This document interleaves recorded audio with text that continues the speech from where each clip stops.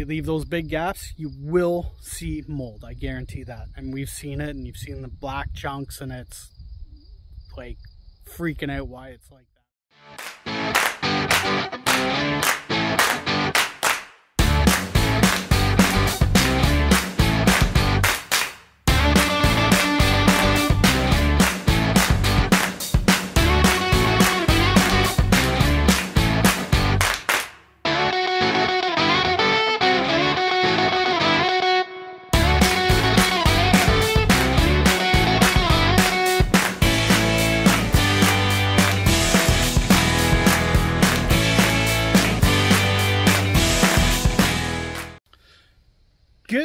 afternoon, everyone.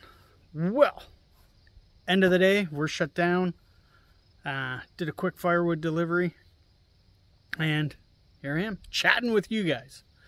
What are we going to chat about today? Well, it's the old debate that I've seen coming up.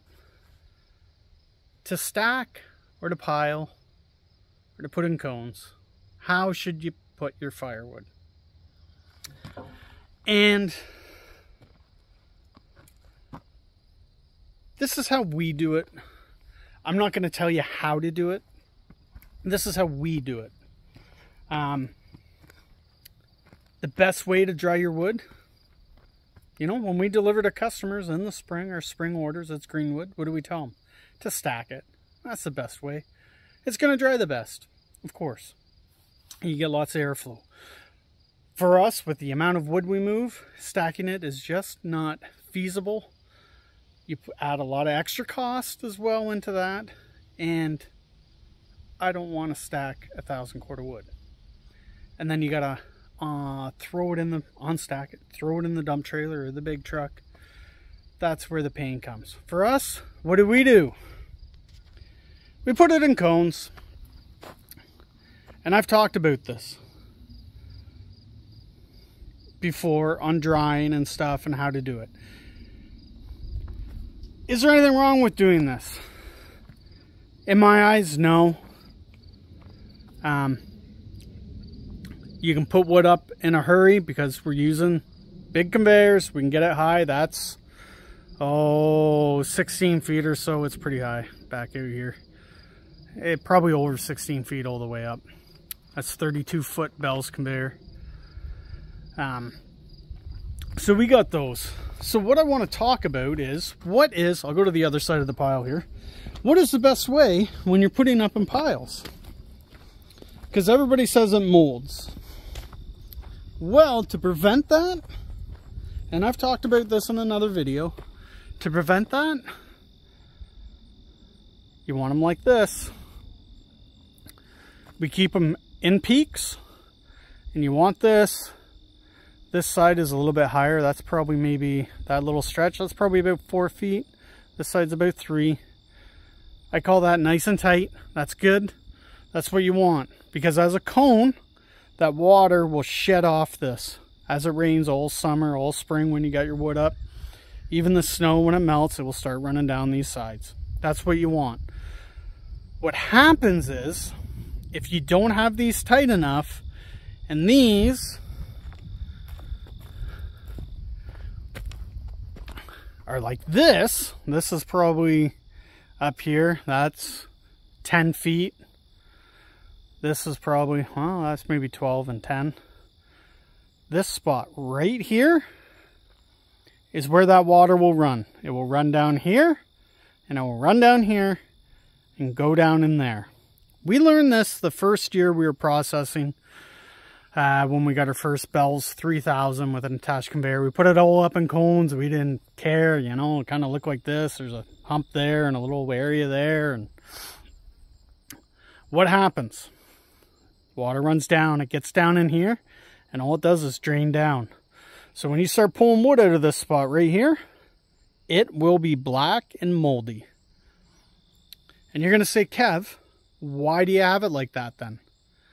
This wood will not be here long enough to worry about it. But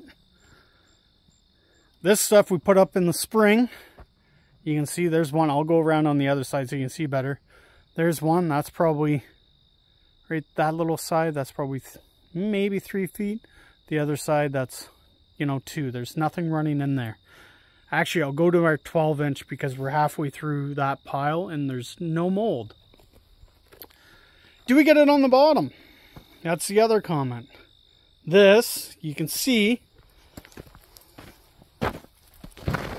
this was recycled asphalt and it is basically pavement. You can see there's a bit of loose stuff, of course. It's, you know, it's not perfect.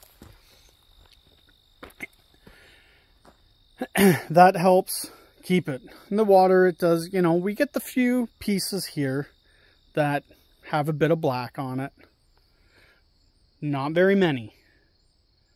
And and when we're pulling them out, we're loading. If we notice them, we pull them out, we separate them, toss them off. The boss will burn that in the winter. We do care. We do care what our wood looks like. Um, I'm going to switch sides here with you just because of the sun. So we do care. Um, here's another. You can see, see how high that is and this one. We're just put, we've doing, we're doing this right now, so we're not too concerned about it. We're pulling all this wood out now. So this stuff's going out as we're putting it up. It's all ash. It was all dead standing ash, so it's fairly dry. So we're not super worried about it, but you can see there's the other one nice and tight and same within these bottoms you get them too close that's the same as these V's when you do a separate cone if you don't have them tight or you keep them separated like that there's just a little bit on the bottom that will keep your mold away. And this is our bucket we use. We put a back on it. I've seen guys even put little kind of sides on here to stop it from coming out the side but that's what we use and it works pretty good. This is our maple and beech and ironwood. This is stuff we put up in the spring. We've dug in it a bit. No black stuff yet. We're just on the outside of the pile. You know, nothing black. No mold.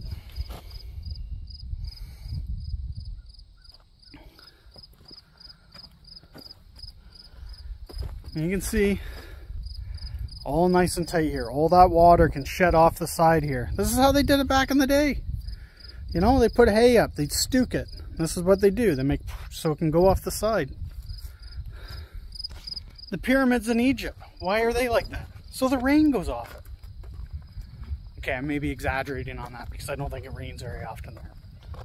You get what I'm saying. Let's go check our 12 inch. and this has been up since the spring as well. Uh, and you'll see we had a row of cone, cone. So these, there's set there, set here, set there. You can see these middles right here. Right here, we're probably halfway through these piles. You can see this, the top's already coming down. you'd see something here. I get it's ash and dry, but you're not going to get mold in here because how tight these are. Same with this one, it's fallen down a bit, but you can see there's nothing. Yeah, and this would be another, would have been another seam kind of right up in here. I see nothing. We do get, I'm not being honest with you, this is not as nice over here. This doesn't have the recycled asphalt treatment over here. This is kind of fill and dirt. You got to be a little bit more careful picking up this stuff and just making sure you're getting that all out. Um, we're waiting for some nicer weather we'll dig that out and we got some stuff left over there, recycled asphalt to put down. If you're putting it down, just throwing it down isn't perfect. You gotta, from what I've been told and what I've seen in our yard, you need heat and compaction on recycled asphalt. The fresher it is, the better it is. You can get it down, it's warm out, and compact it. whether you can get a decent sized roller in here and get it packed. Um, you see here, the boss threw down some here. We had a little bit of a hole. And this, all we did, he threw it down. It was just kind of like a little strip here that was really low. High. Going back here, that's where log piles go for the log truck. And just a log truck running over this. Like that's yeah, there's some loose stuff on top, but that started hard packing right there. Yeah, it's got got 120,000 pounds going over when he's coming in loaded or so. But that's packed. You need compaction and heat for it to work best. Paving, hey, you know, if you got some endless funds and you want to pave or put concrete down, go for it because that will work real awesome picking up. It will really help. But yeah, I'm not trying to, in this video, I'm not trying to tell people what to do or how to do it. However you want to do it, it's up to you. It's your choice. If you want to keep on stacking, I got good friends in this YouTube community. They stack all by hand. And they're going to continue to stack. And that's good. They're selling a quality product. And that's the way they advertise it. And that's the way it's going out other people, you know, you're short on room or you're up in your thing, you know, you see all these big producers. They're putting up a thousand, two thousand, three thousand, four thousand cord a year. They're not stacking it. None that I know that are doing that amount processed are stacking it. They're putting it up in cones or into big piles. Um, if you're putting real big piles and you got the equipment to do it, flipping it, if you got a big payloader or an excavator to flip it, yeah, that helps. That helps a lot. We don't, but this is how we do it, and we got lots of happy customers, so hope that answers your questions on mold. Um, if you get a real wet year, it's you're still probably going to get some, and there, there's nothing you can do about it. It's you know this year has been a bit dry for us that's where it's gonna, when we get those torrential downpours, that's where it's gonna be. And we've had them and I don't see any of that mold. You leave those big gaps, you will see mold, I guarantee that. And we've seen it and you've seen the black chunks and it's like freaking out why it's like that. But we figured out what causes it and I'm passing it on to you. So if you want to put them on cones, go for it. Keep them tight together. That's what you want. Keep them tight. But anyway, guys, again, thanks for watching. Hope this helps some, some of you out and answers some of your questions. And we'll see you on the next one. Thanks, guys.